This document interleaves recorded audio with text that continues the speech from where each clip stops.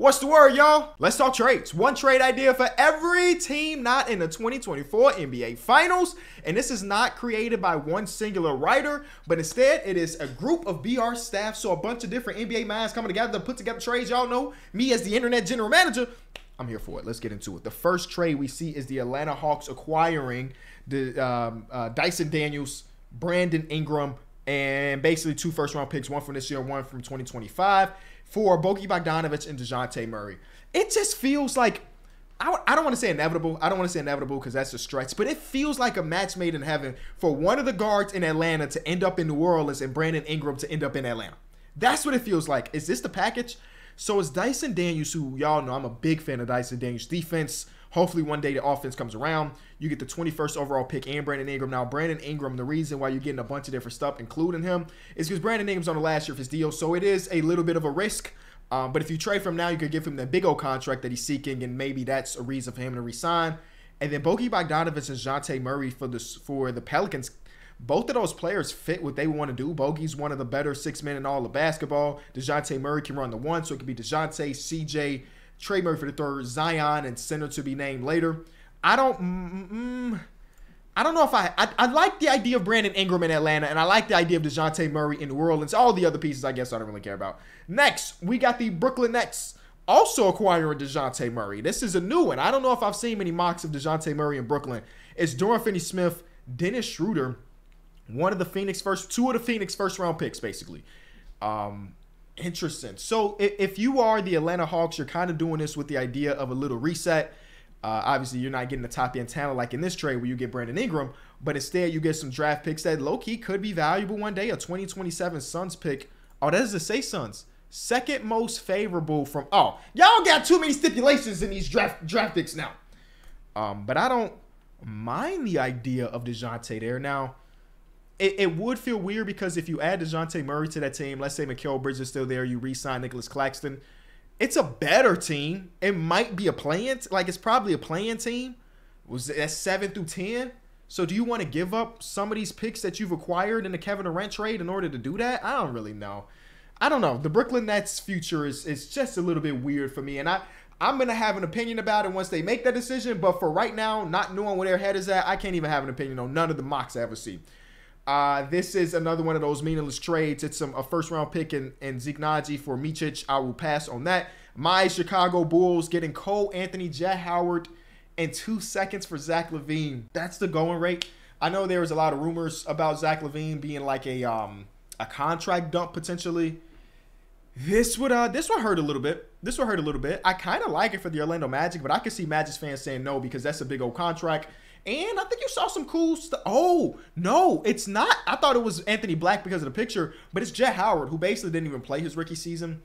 The Orlando Magic could use shooting, they could use scoring. Zach LaVine fits the bill, but again, the contract is so large. I could see this being a turnoff for the Orlando Magic. But Orlando Magic, it ain't like y'all paying nobody right now. And by the time you gotta pay Paolo, you gotta pay Franz, you're looking at the last year of Zach Levine. I don't, I don't hate it for y'all. Send it, send it our way. Now we get a lot of guard. That's that's Coby White, Ayo Sumu, That's um, Austin Reed. that's Alex Caruso. Alex Caruso. Um, and Cole Anthony, Lonzo Ball will be back. Like that's a lot of guards for Chicago to have. So maybe that's the reason why you don't. But I, I think sending Zach LaVine to a better team for him is probably what the Bulls going to be trying to do, regardless of what they get back. It's Doe for Ty Jerome, Georges Niang at number 20. It's a pretty decent trade for the, the Cleveland Cavaliers to get a 20 overall pick for Dorian Finney-Smith. Not too bad. It's not as good as some of the other trades that was offered to you last year, but hell, it's a nice little consolation prize to get the 20th overall pick. Next, we got Lauri Markkanen for MPJ. For, wait, for MPJ, number 28 this year. Uh, first round, three first round swaps in three seconds. That is a lot. And it doesn't even fix your problem. I mean, if it, it helps you on court, right? Uh, Lauri Markkanen is a better player than Michael Porter Jr. Um, but one of the reasons why you're doing these trades, if you Denver, is because you want to avoid the second apron. You don't want to be one of the most expensive teams in basketball. And Larry Markkanen is on the last year of his deal. You would assume that he's going to get the type of contract that Michael Porter Jr. has right now. So that's why I would say I would be hesitant to it. Um, it also feels it's like these picks might not mean nothing because as long as Denver has Jokic, The 2026 first round pick is going to be in the 20s. The 2028 first round pick is going to be in the 20s. So that's not good value for Larry Markkanen, I don't think. So pass. Detroit. Oh, they could have built together a better Detroit Pistons trade. Tim Hardaway Jr. pass. Golden State Warriors. Alex Caruso for Moses Moody, Gary Payton, and the lottery protected. I, I, honestly, if you're telling me as the Bulls that we're hitting a reset button, I don't mind getting Moses Moody back in the trade. Actually, I would like this a lot. And we get a lottery protected first. Send us in. That's only if we're agreeing that Alex Caruso is getting traded. If he ain't getting traded, keep number six here, man. One of the last number sixes in NBA history, really. Um, you think about that. One of the last number sixes in NBA history because they retired the number. Now we got Jimmy Butler going to Houston for Jalen Green, Dillon Brooks, a number three overall pick. Interesting. Obviously, this is a hard reset for the uh, Miami Heat. The idea of Jalen Green and, and Tyler Herro on the same team together is kind of interesting, and I don't mean that in the good way. Uh, but I think that's decent. I think that's decent value for Jimmy. Maybe you would want one extra first round pick, considering this is not one of the better draft classes. But you get number three in this class, which could get you I don't even know who's mocked to be number three nowadays. I know number one and number two in whatever order feels like it's going to be Risacher and, and, and Alex Sarr. But like Reed, Reed Sheppard, another guard. Eh. Um, Donovan Clingan. Donovan Clingan with Bam Adebayo running the four now. It's not the perfect trade, but this is, this is the type of trade that if it happened, I'd be so excited. I think Houston looks really solid uh, with Jimmy Butler on the team. That's just me. Next, Indiana Pacers. Whoa, that's a that's a lot of reading. Uh, Mikal Bridges for TJ McConnell, Benedict Mathurin, Jarace Walker, a one second round pick, one first round pick, some more seconds, one more first round pick. So it's at two firsts and three seconds. TJ McConnell, Benedict Mathurin, Jarace Walker. That is a hefty, hefty price for Mikal Bridges. I'd probably just say no to this one straight up. That's just a lot of draft capital. I mean, 2030. Do you know how far 2030 is? I mean, he does say it would turn to two seconds. It would turn to two seconds if it doesn't convey. So I guess that is a little saving grace. But that's a lot for Mikal Bridges. He he would fit the team perfectly too. So maybe that's why I'm like, ah. But like I really like Jarace Walker. And I'm sure the Brooklyn Nets would too. So that's why you want him in a trade. Uh, we got Kelly Olynyk for Norman Powell. Cool. Like if it's just a role play for role play trade, I'm not gonna sit here and try to dissect it. This is the same exact trade we talked about last week. I'm not going too into it. I don't understand the idea of these three players and just two first round picks and a swap being good enough to go get a star star player. If the Lakers can pull it off, salute to them. But it, it feels far fetched to me. It just really does feel far fetched to me. Got my dog in the back. He's tripping, having a nightmare or something. Um, then we get the Memphis Grizzlies.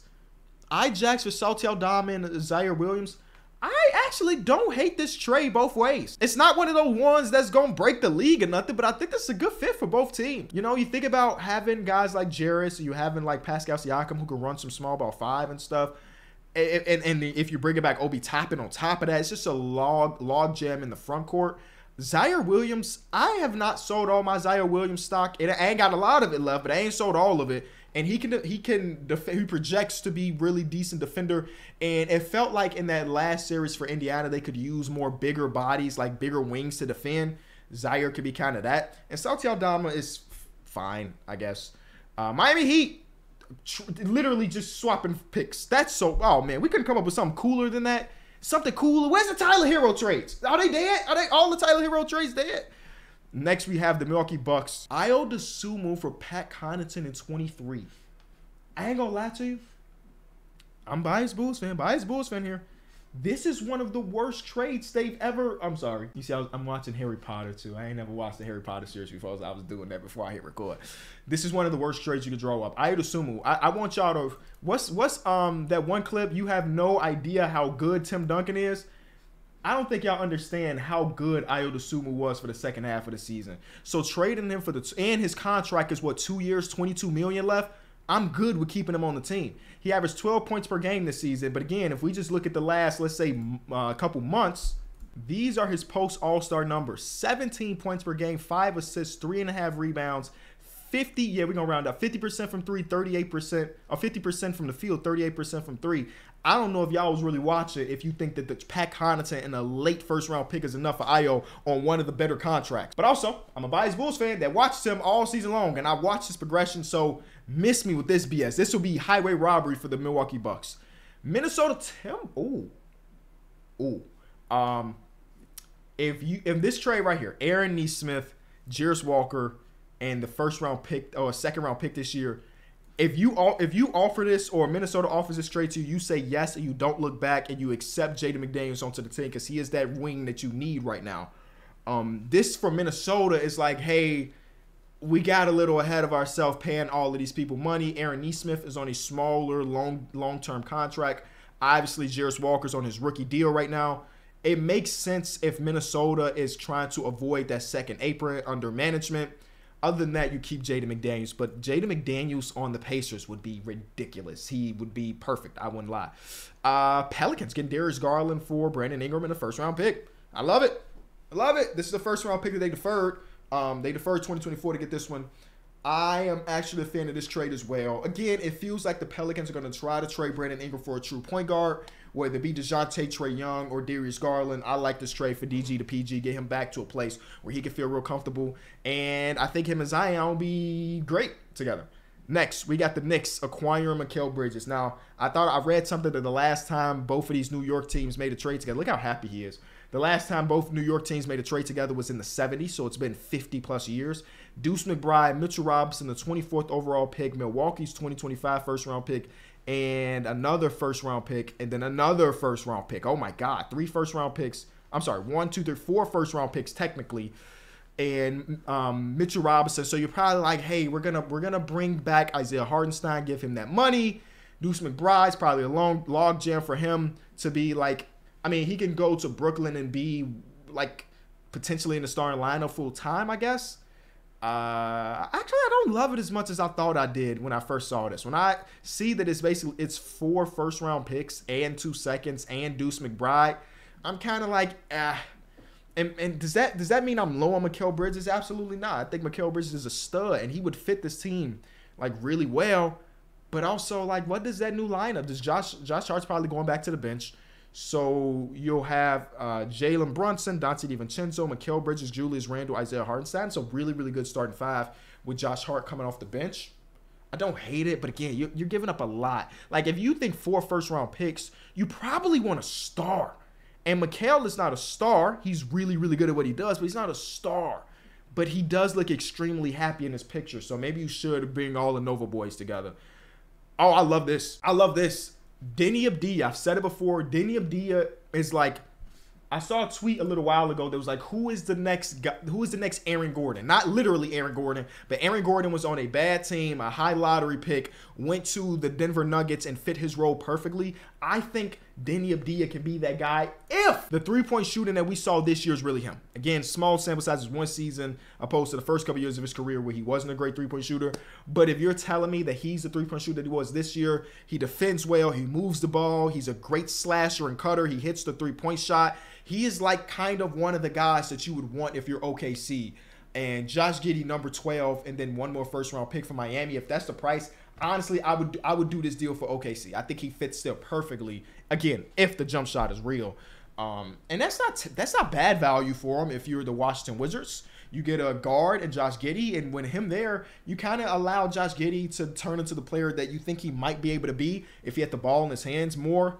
Um, yeah, I don't, I don't, I don't hate this at all, man. I don't hate this trade. I don't hate this trade at all.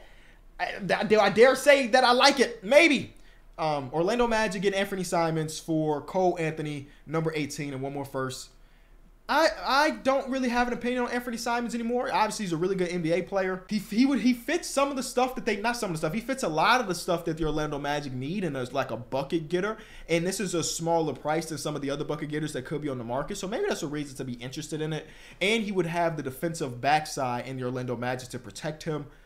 I don't hate it for the Orlando Magic. Honestly, if I am the Portland Trailblazers, that's why I, I don't really have an opinion. I don't know if you feel like that's adequate value for him. Again, he's not no barn burner. It's not one of the top 40 players in the league. I don't know how to feel. I don't know how to feel. I'm going to move on. Uh, we got Dyson Daniels, Larry Nance Jr. for Jusuf Nurkic in the 22nd overall pick. I don't understand why Dyson Daniels in so many trades. Maybe there's something that I'm missing. I love Dyson Daniels as a player, man. Honestly, I do. I feel like if he would have played a full season and got real minutes, like real, real minutes, like starter minutes eventually, he'd be an all defensive caliber player. So I don't really love the idea of trading him away, especially for goddamn Jusuf Nurkic. Pass, hard pass. Bogey Bogdanovich for 16.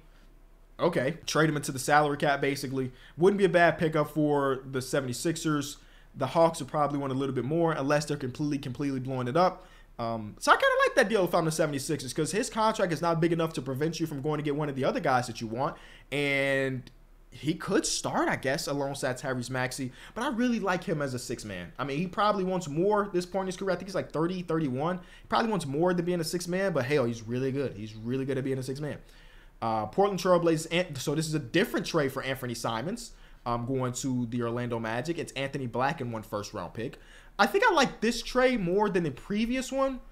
Um, I think I like that trade more than the previous one because Anthony Black showed flashes to me this season. I think defensively he was really good. Once they had all those injuries and they went on a nice win streak, him and Goga Bitadze slide into starting lineup like moments. I really enjoyed that. And again, he was one of the younger players in the draft. So it's like, hey, we got another guy that could come onto the team. It's not gonna be a lot of shooting over there in Portland, but this is what technically year two of their teardown. So it's not bad value, I don't think, but maybe it is. I don't know. Uh, Doe for Davion, Chris Duarte, and a top 10 pick, top 10 protected pick from 2027. sure, sure. Uh, just some of these trades is like, okay, does that what does that do for the Kings? It makes them slightly better for sure, but are they competing out west? Probably not. San Antonio Spurs get Malcolm Brogdon, Robert Williams, the 34th overall pick for Keldon Johnson and Zach Collins. I've said it before. I think that Keldon Johnson is like the odd man out over there in um with the with the Spurs. So it kind of makes sense to do something like this. You get a veteran point guard and Malcolm Brogdon. You get Robert Williams. Both of these dudes have crazy injury history. So maybe that would turn me off from doing this trade. But I like if you want to accelerate the timeline a little bit, but not not too much, it's a trade that you could potentially potentially do. I I, I guess. Spur um, um uh, Raptors. Ochai Agbaji for Moses Moody. Hard pass. Uh, whoa, a Cade Cunningham trade. Is this the first Cade Cunningham trade I've seen on in one of these videos? I think it might be. Let's lock in. Cade Cunningham for Keyonte George, Taylor Hendricks, a top, uh, the 10th overall pick in this year's draft, a 2025 first round from Cleveland, a 2027 first rounder from LA, and a 2027 first rounder from Minnesota. Well, I, I, I don't really understand why you would trade Cade Cunningham right. I don't understand it. He'll be 22 when the season starts, which is still really, really young. I, you know, no, no, no, no, no. I know it's, oh, it's new front office, new management and stuff, but I was about to say these draft picks don't mean nothing if they're going to miss on all of them. New management, new front office. I'm not trading uh, the first round pick three years into his career after one year where he didn't even play, and then the other years he didn't have anybody around him that could shoot the goddamn ball. I want more. I want a bigger sample size with Cade Cunningham before I start drawing him trades. If you the Jazz, you do this trade though, because I think Cade Cunningham and Larry Markkanen would be kind of crazy. Last trade is another Josh Giddey going to the Wizards trade, but this time it is for Kyle Kuzma, another guy I think would go to uh, OKC and perform really well. Bigger wing, obviously he knows what it takes to win, um, as he was the sixth man on that 2020 Lakers team wouldn't be a bad pickup for them. It's Josh Giddey and base one first round pick from next season. Why is it split six different ways? That is so crazy. The draft picks can you can trade draft picks within draft picks right now. That is insane. Insane. Um, okay. It was some good trades in there, some bad trades in there. Again, it's all it's really just about a it's a thought experiment more than anything, man. It's a thought experiment.